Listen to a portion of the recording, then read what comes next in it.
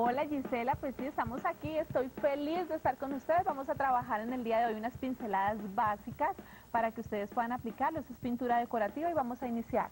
Entonces tomamos 50% de blanco, eso es pintura acrílica, 50% de amarillo. Vamos a fundir muy bien nuestro pincel, vamos a tomar 10% de azul para poder formar el verde. Aquí tenemos un verde intenso y vamos a iniciar. ¿Cómo tomamos nuestro pincel? De la siguiente manera.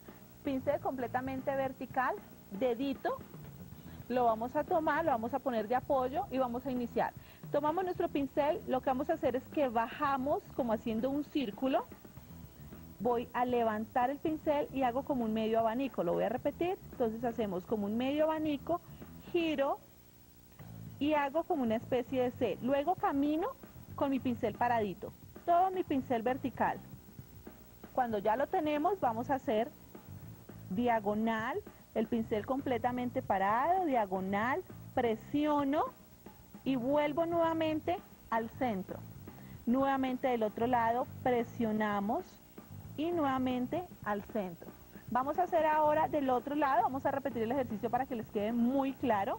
Entonces tomamos, hacemos como una U, cuando ya tenemos la U lo que hacemos es que giramos y vamos a hacerlo vertical. Tomamos nuevamente, Recuerden, pincel paradito, presionamos y refilamos.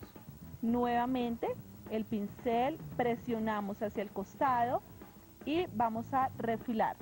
Nuevamente vamos a hacer el otro, presionamos, acostamos y refilamos. Presionamos y refilamos. Recuerden que simplemente es que ustedes empiecen a practicar, empiecen a trabajar, lo hagan muy simple, muy sencillo con muchas ganas de poder trabajar. Entonces nos vemos en una próxima oportunidad. Y sigue tú, Adriana.